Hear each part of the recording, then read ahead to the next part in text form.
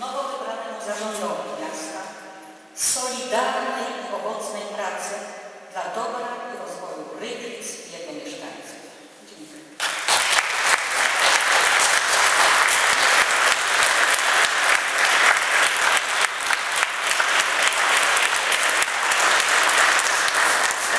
Bardzo dziękuję Pani Dyrektor za ten bardzo interesujący temat.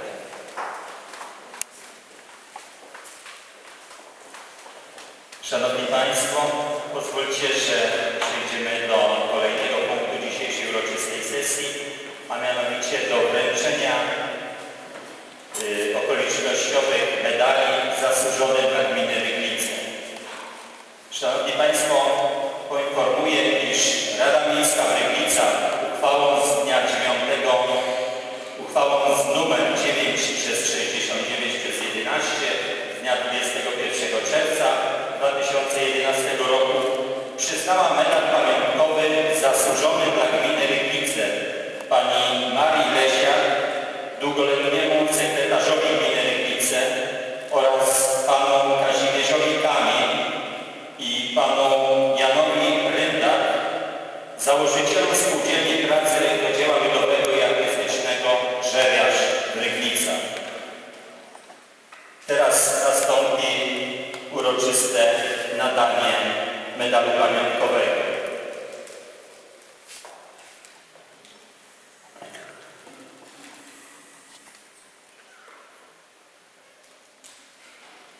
Odczytamy dyplom dla pani Marii Lesiak. Składam wyrazy najwyższego szacunku i uznania za pełną poświęcenia działalność na rzecz lokalnej społeczności.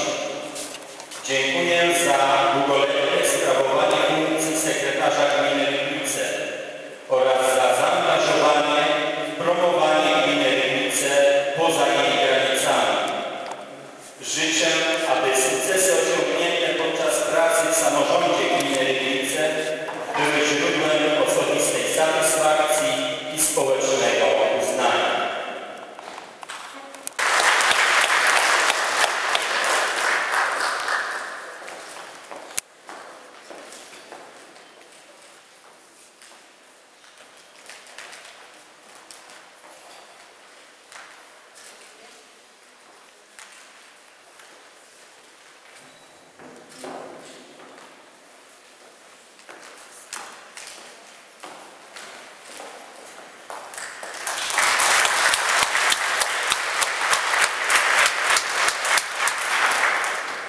Dyplom dla pana Kazimierza Kami. Składam wyrazy najwyższego szacunku i uznania za pełną poświęcenia działalność na rzecz lokalnej społeczności. Dziękuję za wieloletnią działalność na rzecz spółdzielni Drzewiarz w Rybnicach, która zaowocowała jej wszechstronnym rozwojem oraz za wszelkie podjęte inicjatywy społeczno-gospodarcze, które przyczyniły się do rozwoju gminy Rybnice. Życzę, aby sukcesy osiągnięte w trakcie pracy zawodowej były źródłem osobistej satysfakcji i społecznego uznania.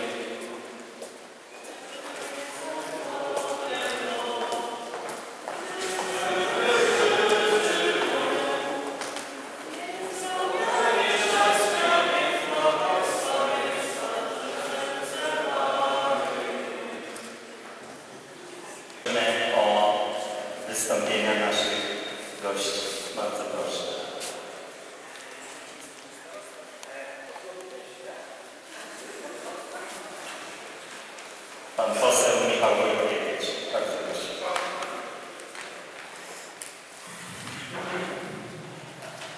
Szanowni gospodarze, Panie Przewodniczący, Pani Burmistrz, Szanowni Radni, dostojni goście, Panie Pośle, Przewodniczący Księża, Panie Starosta, wszyscy, wszyscy wspaniali Rybniczanie.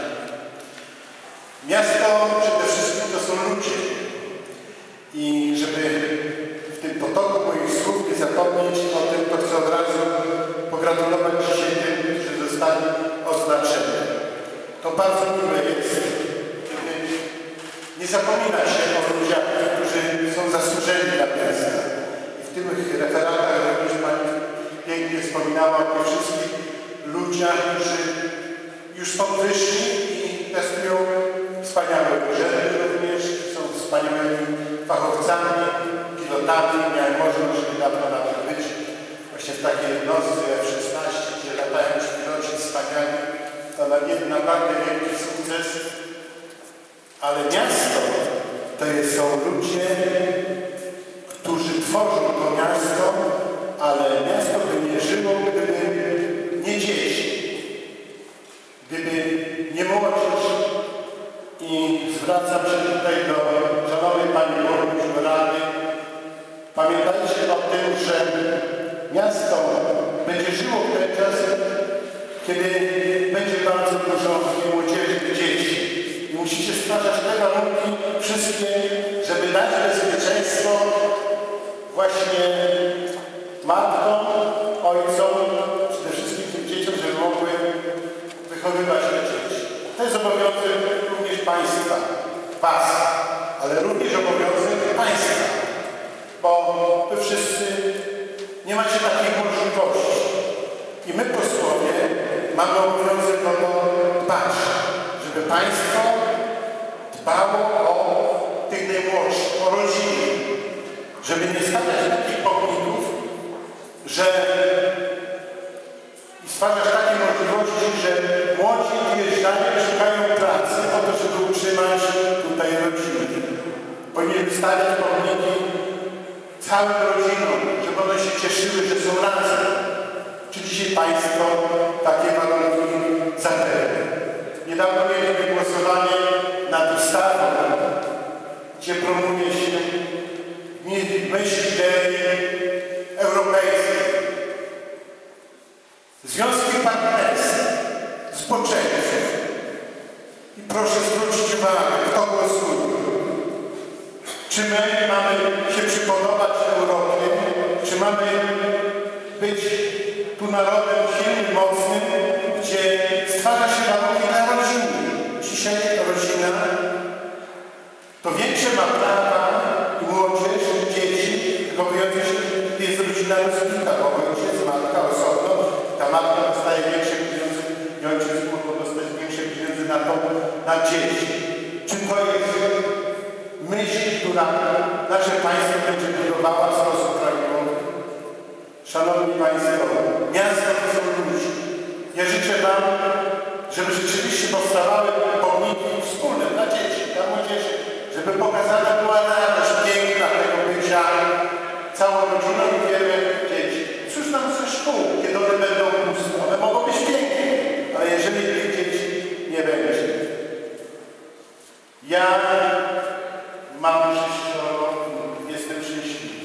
I dzisiaj piękne słowa też padły, że dziadkowie zdobywają też do pewnego stopnia wiedzę od tych wnuków. Ja dzisiaj e, mam najmniejszego wnuka, który będzie jutro miał sześć.